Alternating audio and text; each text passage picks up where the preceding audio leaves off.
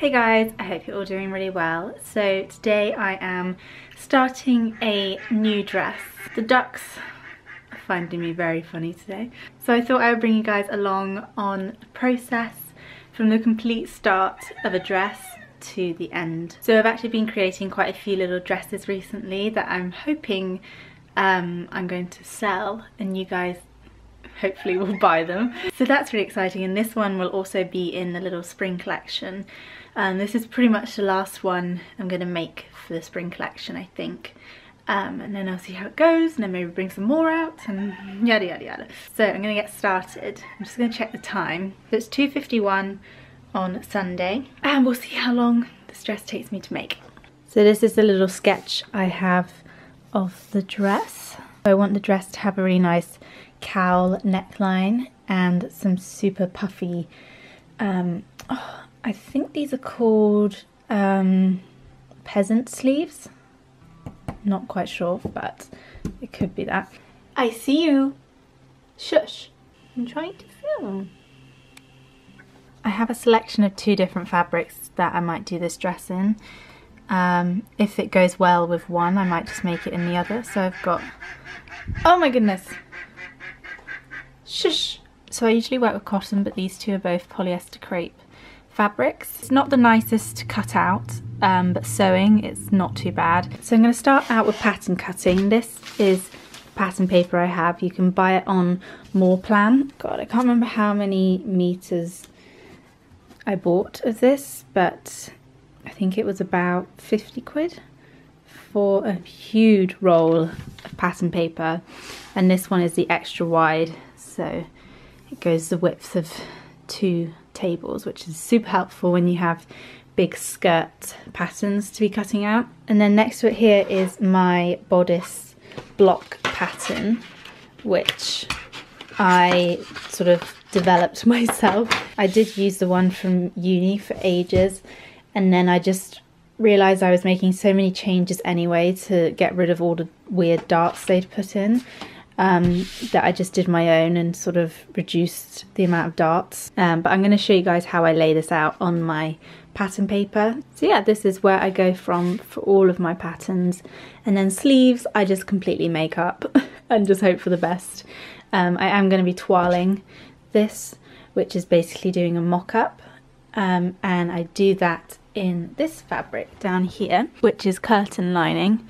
Um, uh, you can also buy that in bulk from Fabricland, so I will link that below. And I have a huge pile of scraps, and these are actually toiles in here as well, um, of previous dresses I've made. When I was toiling at uni, you would have to make your toiles to like a really high standard so that it was basically exactly how it would be made in the end but I don't do that anymore because I feel like in my head I know exactly as long as it fits and the shape is right I know where I'm going to be going next and I also if one sleeve goes okay I won't do another sleeve because that's a waste of fabric on a toile.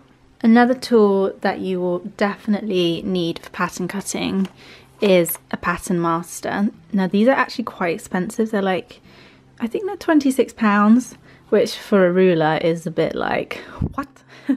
but honestly, this is just a lifesaver. Like it's, yeah, you, you need this if you're gonna do any sort of pattern cutting. And then a tape measure is also very handy to have for measuring curves. You'll then also want some paper cutting scissors. These are only used for cutting paper and they're quite long so it's really helpful for cutting out big bits of pattern. A Pritt stick for slashing and spreading pieces of pattern and sticking them back down and then I use these retractable pencils because they give a continuous line of the same width and you don't have to keep sharpening them and they have a tiny little rubber at the other end if you go wrong. And then the final thing that is also very useful but not 100% necessary is a meter long ruler. I actually hate this one because it's so horrible at the edges. Like it catches the paper and rips it a bit. So if you're gonna get a meter ruler I don't recommend this one. I like the little plastic ones that you get at like school and unis but they're actually really hard to find online. So I know my bodice is going to cut off at the waist so I don't actually need any more space on my master to go under there. Basically what you're going to create is a grid on your pattern. So I always start out with the centre front line down here. I just set you guys up on my tripod so you can see what I'm doing. Start out by creating a line for my centre front. And then with your pattern master, you want to square off a line that's going to run across the bust.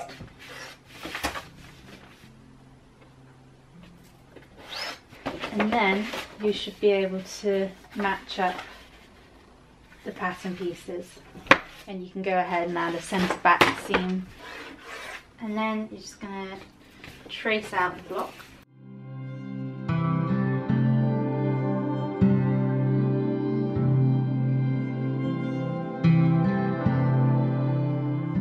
So I'm going to start with the back and for the back I'm just having a little opening at the top and then on my master I have a dart that goes all the way up but I'm considering getting rid of that. So it's super easy to create this little um, opening at the back. I just decide how far I think it needs to go down and then I just draw it by eye basically.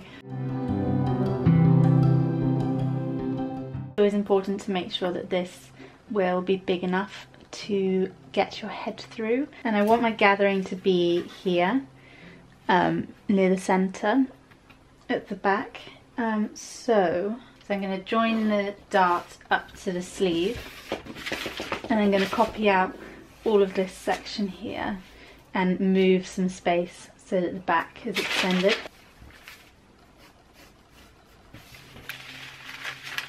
I've got my piece here and I'm going to hold it down by the armhole and I'm going to pivot it out. And so now your dart has actually moved from there to here and you can always test darts out by actually folding the paper.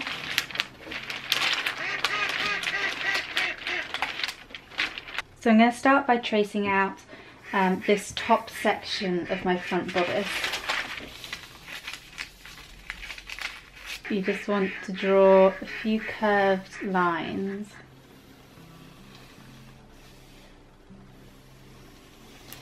Like so.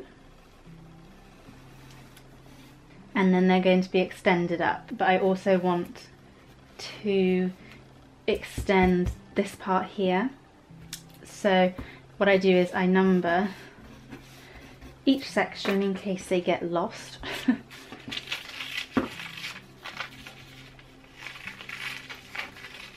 So that's roughly where I think everything's going to go. I'm going to stick these pieces down.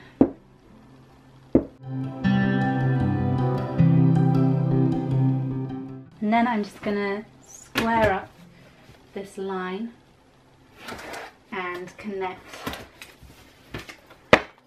the um, shoulder seam. So this part is basically being disregarded and I'm going to follow this line. This will be cut on the fold um, and then this will all get scrunched down. I'm going to work on the sleeve pattern next and it's not a peasant sleeve, it's a leg of mutton sleeve. I knew it had a weird name but this is how I basically taught myself how to pattern cut is if I'm struggling on what the pattern looks like I just google search it. So the sleeve pattern looks a bit like this so this is like a normal sleeve pattern and this is the way they've slashed and spread it. This one's actually a bit more simple. Basically you're just adding a lot, a lot of length in the top um, around the armhole so you can gather it all at the top here and it's gonna puff out. so technical. And then it will come in at the arm so you have all the volume up here and then nice and tight down there. So let's give this a go. Start out with a simple pattern. I'm going to do the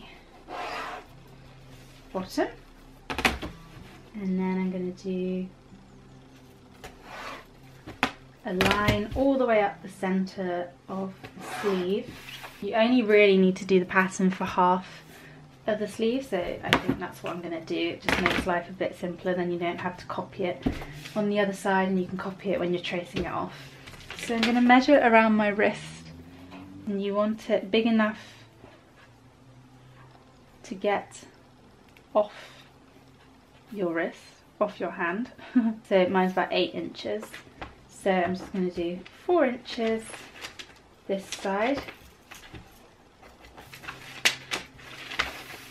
and I'm going to start by just roughly tapering that up.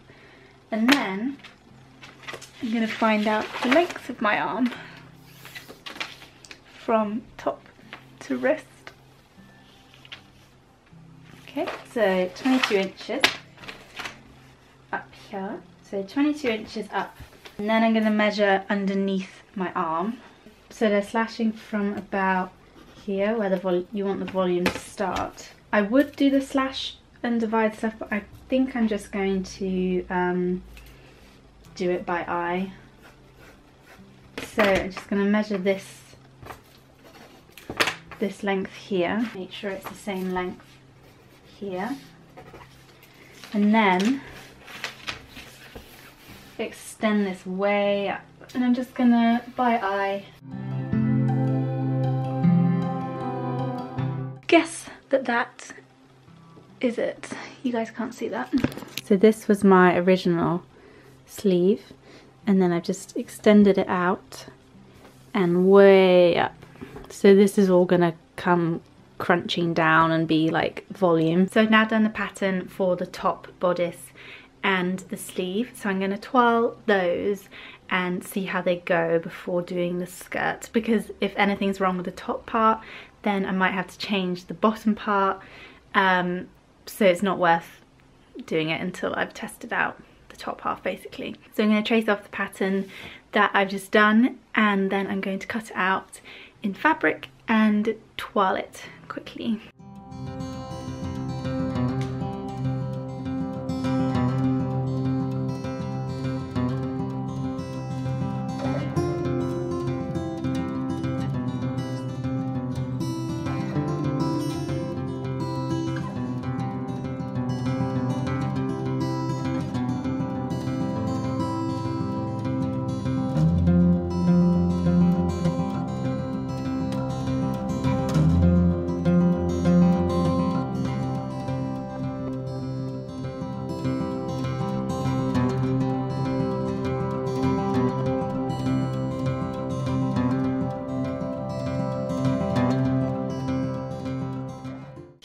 There we go. Those bits are now cut out. I'm going to have a really quick little break, have a little drink, um, and then come back to this. I always find it really helpful to take little breaks often when pattern cutting and sewing because it can get to your head and you can get frustrated very quickly.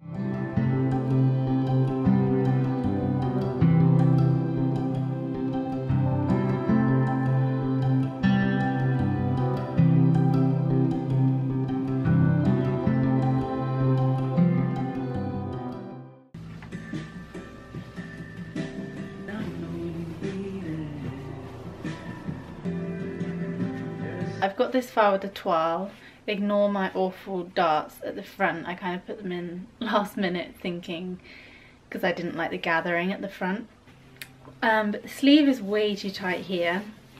Um, I just need to add like a centimetre on maybe two centimetres to that and I kind of want to make this a bit more poofy the cowl neckline works really well. It's really hard to tell on this fabric, but when it's in crepe, it will like droop much nicer. And then at the back, I have the little gathering at the bottom, but I think I'm going to take that out and move the dart back to here and just have darts at the back. So yeah, I'm going to go and make those changes to the bodice now. I'm not going to bother retoiling the bodice because I know it will fit once I've made these changes.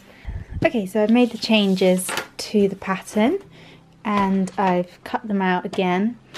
I also made a facing for the back. This is just instead of having to have two pieces this size, So yeah, that's now done and I'm going to move on to the skirt part. So to create the skirt, the first thing I do is find the waist here and this has a dart of three centimeters so I'm going to have to find three centimeters along here and make a mark and then I like to create like the start of the skirt and then I'll trace that off put it on a separate piece of paper and go from there. I don't really like having darts on the skirt part. If it's like a really fitted garment then I will but um, for this one I'm not going to do that.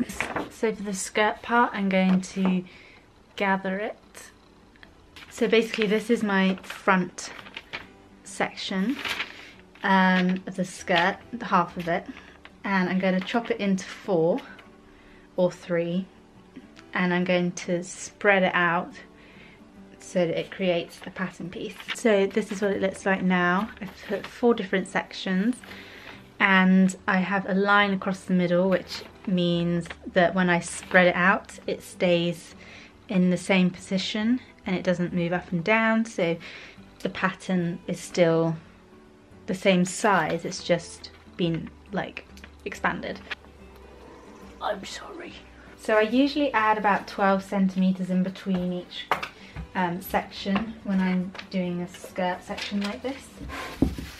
So I start with the centre line of the skirt, so the centre front, and then you need to draw your line that matches all of the sections up. So I've just added my first spacing of 12 centimetres and then I'm going to stick the next section just there.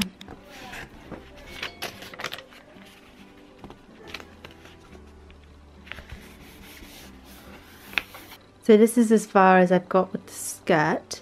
I've now spaced out that pattern and I'm going to work out how long I want my skirt to be. So this is the front skirt. So, so to do that I literally just take the tape measure and then I hold it where the bodice stops and sort of let it hang down and then I kind of just keep it in place and figure out where it is I want the end to be. So I want 34.5 inches. 34.5. I'm then going to taper that down a bit at the sides so the centre is going to be the highest point of the skirt. And I'm just going to bring it down just by eye. So that will be the middle of the front skirt and I've just sort of curved the line down. Now on my design I've actually added a seam that goes like this. So I'm going to add that in now. I finished mapping out the skirt pattern and now I'm just tracing it off.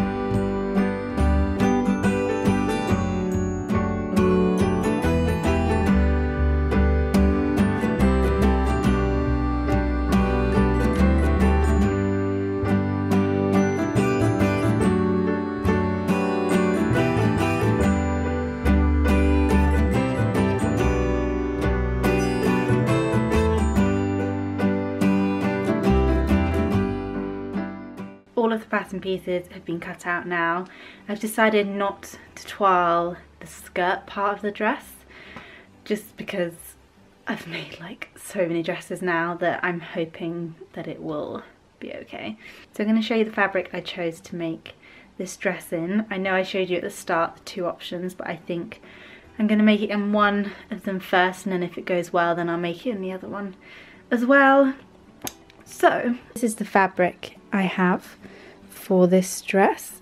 It is a really beautiful crepe fabric. I've got all the pieces over here and I'm going to get on and cut them out.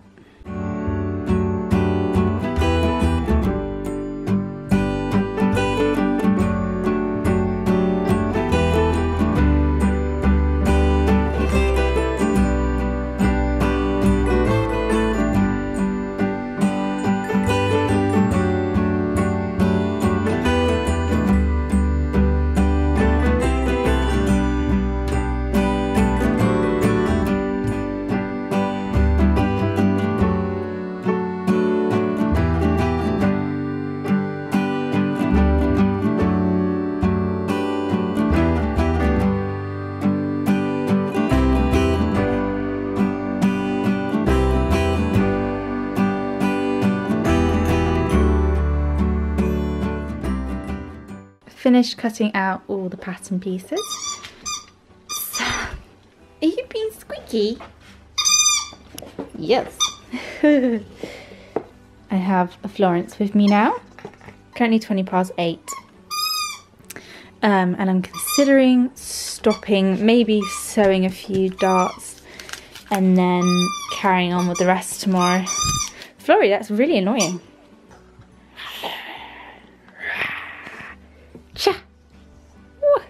Might just have a nice early-ish night. And um, have a clear head for making this in the morning because I feel like this fabric's not going to be the nicest to work with. I don't think it'll be the worst fabric I've ever had to work with but it's a bit slippy so we'll see. But anyway i'll see you guys in the morning. Morning guys. So i am now ready to start making the dress i was filming this morning for a little makeup monday. But now the time is about 10:30, i think maybe quarter to 11 um, and i'm gonna start on this dress so the first thing I'm going to do is sew all of the darts. To mark out a dart, I like to just take a pin. So yeah, I will just take a pin place it in the top of the dart and then often just using a pencil I will take a few of the pins out from around it and I will mark the back tiny little bit there and then also the front. And the bottom of the dart um, I cut little notches in because this is the back piece and I will just pinch the top and bottom two notches. Make sure they're matched up. And then with a dart you always sew from the big end down to the point so I'm going to go and sew all of my darts now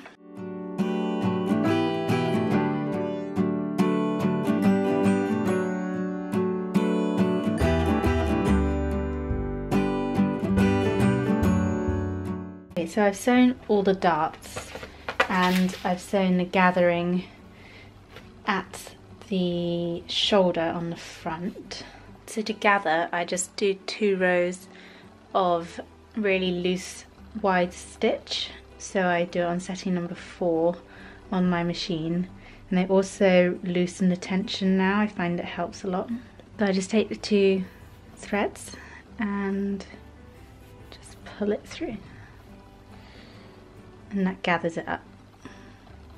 Then this piece here is the back facing and I'm going to sew that to the back piece. So this is good side to good side. Okay, and then I'm going to sew all the way along the neckline and around and back up. I've now stitched the facing onto the front of the back and I actually overlocked as well because it just felt I felt like it needed it because this fabric is a little see-through so if it looks uneven underneath then it doesn't look good so I'm just going to turn this through and iron it down.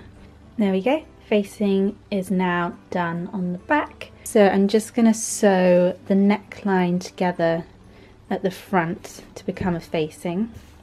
So I've just sewn the top neckline together, turned it through, and now I'm going to attach the shoulders to the back.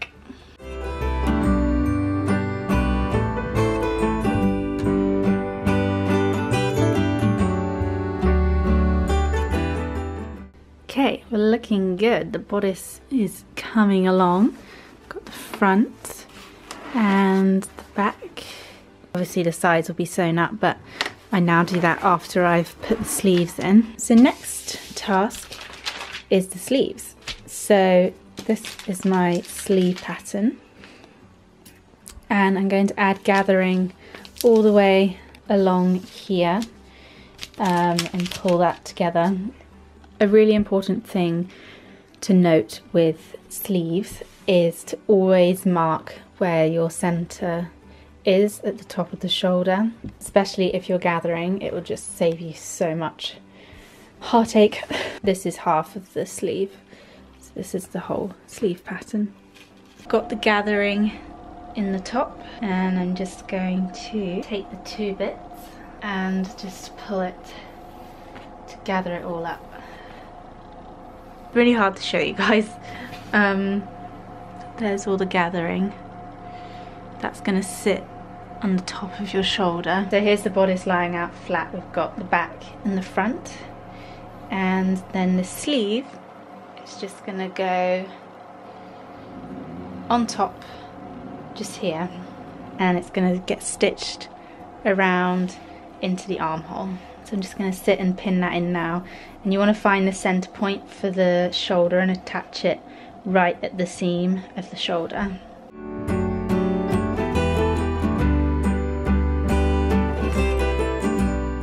Sleeves are both in and now I'm going to show you guys how to make a little um, insert that sort of like puffs up the sleeve. So this isn't a shoulder pad, I guess it's called a shoulder roll.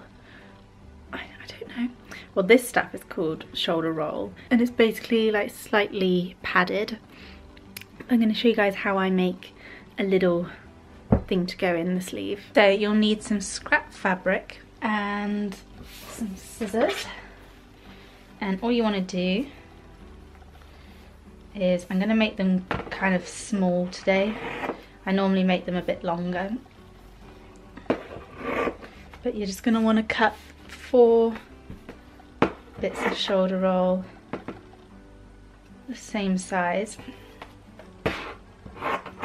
And then just put them together. So you've got two a section of fabric. You don't have to be too, you don't have to be neat about this, but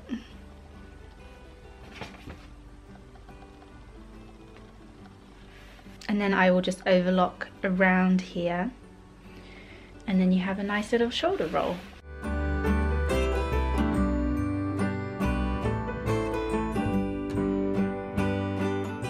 So these are the finished little shoulder pad, shoulder bump things and these sit inside just like that. Just add a bit more volume into the sleeve. So to attach them I just find the shoulder seam and I like to put it just like this, find the center and then the center here and then I will just zigzag stitch it down along here. But now I'm going to work on the skirt part. So I have a curved seam in the middle of the skirt. So I'm going to go and sew those together quickly and then come back and show you guys what the skirt looks like.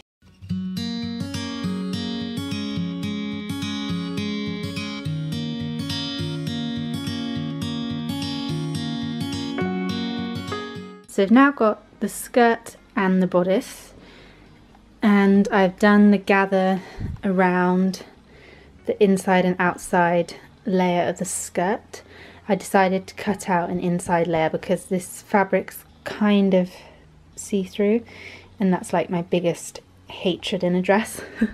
so I didn't want whoever buys this wears this to have their pants on show all the time. It also gives the skirt some nice sort of weight and movement. So I'm going to now lay this out and even up the gathers and then attach it to the waistband.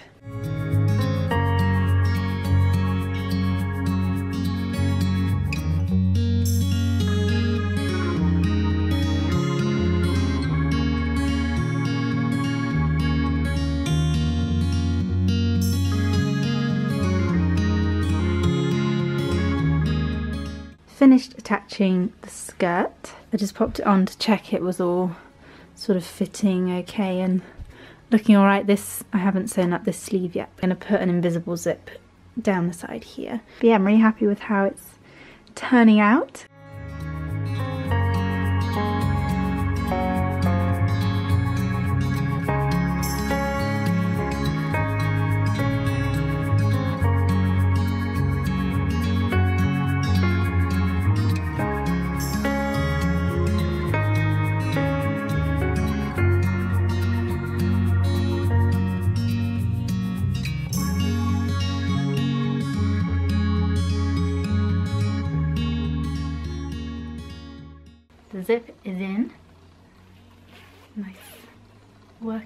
Zip. I'm just going to close up the rest of that seam now with the skirt and then we can get on and hem it and do the last little bits and then we'll be done.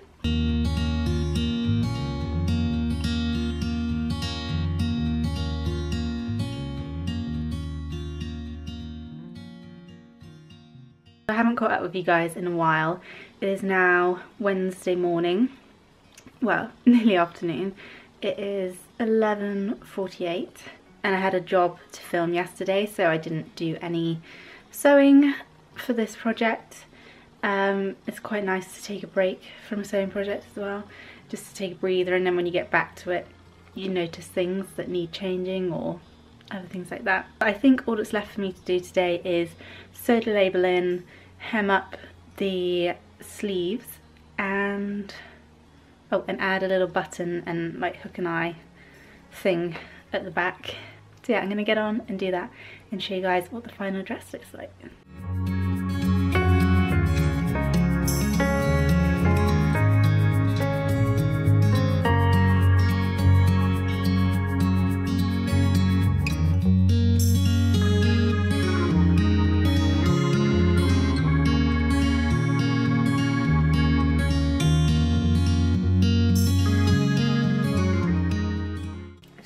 Sewn the label in and the little button. And the sleeves are done so the dress is finished. I'm gonna go and put it on so you guys can see what it looks like. I'm gonna take you guys to the mirror so you can see it properly. I'm so happy with how this dress turned out. So here is the finished dress. I think my favorite part is probably the sleeves and the neckline.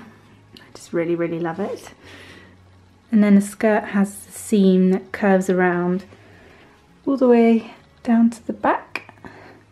So that worked out really nicely and you can't see my pants through the skirt either. So yeah that is the finished dress. So these are the other items in my little collection that I've been making. So these all need a steam and just to be sorted out a little bit but I thought I'd give you a little sneaky peek. I'm going to end this video here. Well done if you got this far because I feel like this is going to be a very long video. So yeah, let me know in the comments down below if you're going to try out a bit of sewing for yourself or if you want to stay updated with all of my sewing work and everything, I will leave the link to my Instagram and my design Instagram account. And this will all go up on my design Instagram account, but I will probably be linking it from my main Instagram account as well. So if you're not following me on there, then they will all be linked down below. Really hope you guys enjoyed the video and I will see you all in my next video. Bye!